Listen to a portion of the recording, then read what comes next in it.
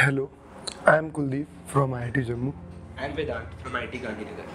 We are making a complete weeding and seeding machine. Inter-row weeding is weeding between two rows of plants, whereas intra-row weeding is weeding within two plants in the same row.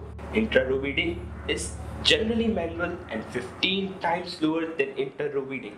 It is a laborious and back-breaking process. Our machine requires seeding to be done at equal interval within a row of plant.